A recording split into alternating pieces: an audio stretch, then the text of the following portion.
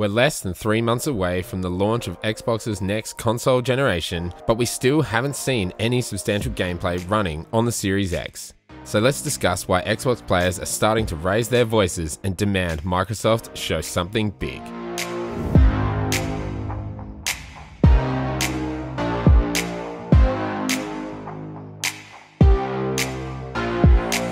Welcome back to Direckt Gaming. Thanks for checking out this video and thank you all for subscribing and clicking that bell as well. If you enjoyed this kind of stuff, make sure you leave a like and leave a comment down the bottom of all your thoughts. I know it's been a quiet couple of weeks. Recently just got my computer fixed, so I'm back in action. But let's talk about everything leading up to next gen for Xbox Series X. First, Gamescom has come and gone, and opening night live was a bit of a disappointment. There were no big new announcements other than the previously slightly announced Call of Duty, which I'm just not interested in at all. Uh, but Gamescom's weekend full of trailers and interviews was something sorely lacking with E3's cancellation this year. I think I'm going to do a video on this topic another time and kind of look at what we've been missing without E3 around. But let's get into some of my thoughts on Gamescom and Xbox's showing, or lack thereof. Ratchet and Clank showed PS5 gameplay and it looks pretty impressive. Uh, there's lots of details, lots of particle effects, and they're really boasting this powerful rift mechanic uh, where you're kind of jumping between worlds and between areas on the map really quickly. You know, it looks impressive. It's not a series that I've ever been interested in, but it's one thing that PlayStation have really pushed this gameplay, and it's it's something Xbox are really lacking. The only Xbox console exclusive that we did see was 12 minutes, which does look awesome. Little indie game uh, about a time loop where you're stuck in this tiny little apartment. Uh, they're now boasting it that it stars Daisy Ridley, James McAvoy, and Willem Dafoe, and it looks pretty cool. But where is the where is the big stuff from Xbox, right?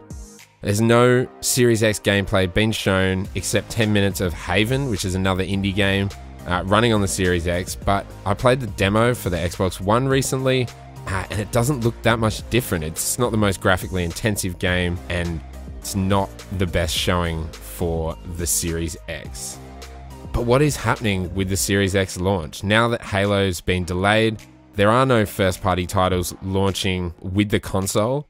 Uh, we do have the Medium coming out, which does look pretty interesting. They did show some gameplay in an interview with Troy Baker, where he's kind of talking over a bunch of gameplay that we haven't seen yet.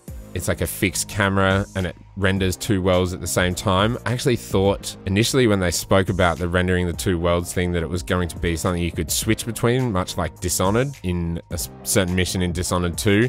Uh, but it seems to be literally rendering them both on screen at the same time. I'm not sure how I feel about that either. It just doesn't look as impressive as I once thought it did. Now, it may have a really good story, and it does have that old kind of survival horror, almost point and click style of old Resident Evil or Silent Hill games. But again, this gameplay segment we saw, I can't find any information if it's actually running on Series X. Uh, if anyone knows, um, just let me know in the comments below if you if you know where the original footage is or if Bloober have posted it somewhere else. All I can see is uh, the Troy Baker interview, which is interesting, and it seems like it's going to have a pretty dark and twisted story, but is it really showing off something that the Xbox One can't do? In the May showcase that we saw from Xbox, we got a uh, look at some apparent launch games The Ascent, Bright Memory Infinite, Scorn, and Call of the Sea.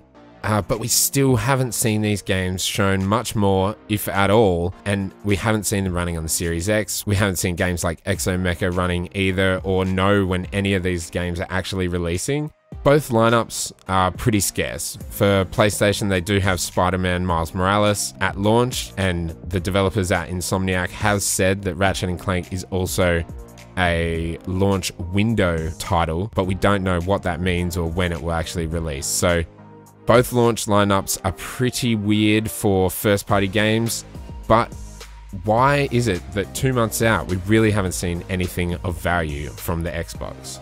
Now, I'm kind of concerned for the launch of the Series X, but I do still thoroughly believe that the future of Xbox Game Studios looks really, really good.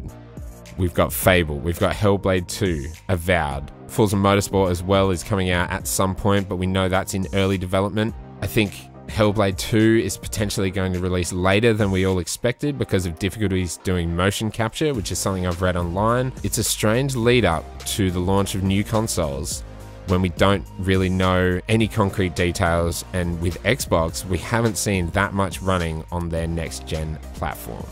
Interestingly, about Halo Infinite, Joseph Staten, who was an ex Bungie director of cinematics and has been with Microsoft as a creative director since 2014, uh, has joined the project to try and help steer the ship and get the campaign on track for release in 2021. 343 have squashed some rumors online saying Infinite will be a Series X exclusive and then they'll go back on what they originally said about the game releasing on the, the Xbox Series X, the Xbox One, and on PC, which I think is really good that they've come and done this. There's so many rumors and everything online that it's good to see the developers come out and just say, no, this is false.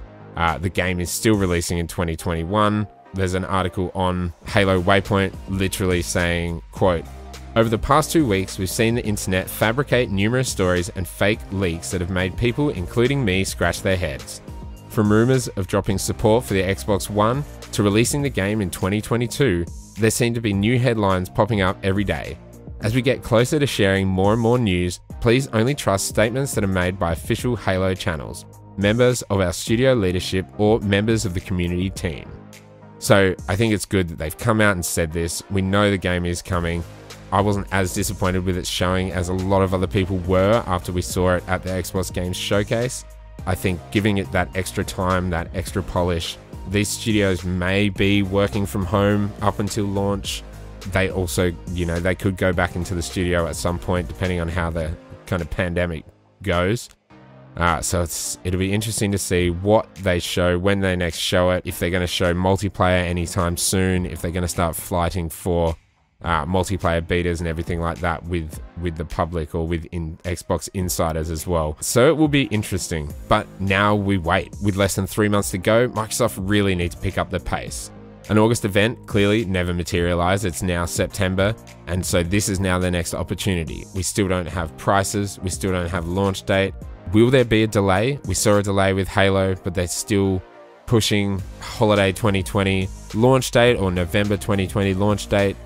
Why aren't they showing it off? Devs clearly have the console. There's games coming out from third parties all throughout the launch window. Indies, AA studios, and AAA devs need to show off the Series X. Xbox needs to get, you know, people like Ubisoft to show off Assassin's Creed Valhalla running on it, even Watch Dogs Legion, which does launch uh, a little bit before the launch of the consoles.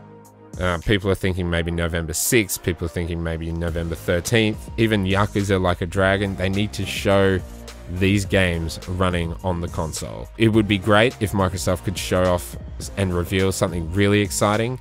If they came out and said in September, Forza Horizon 5 set in Japan uh, is coming at the launch, I really highly doubt it will happen, but hey, we can we can speculate and we can hope, but I just I don't see don't see anything concrete being announced anytime soon. Hopefully, Phil Spencer and Matt Booty and the teams at Xbox uh, see the fans' outcry and see people making content and see people on Twitter asking for gameplay, and hopefully they have something to show in September. Until then, what do you think about the launch of the Series X? Are you still planning on getting one at launch? Are you waiting until more games come out? I try to be a pretty positive voice, but you know, we need to see more. I'm definitely going to be buying the Series X when it launches. It's just something I really want to get my hands on, and I want to play, you know, Cyberpunk on the Series X. I want to play Chorus next year when it comes out, which looks incredible, by the way you know, let me know your thoughts down in the comments below and let me know what you thought of this kind of video. I'm back now, my computer is fixed. I'll be dropping videos on Tuesdays and Fridays, and we'll be back with Controllers and Coffee next week uh, for episode 10 on Wednesday as well.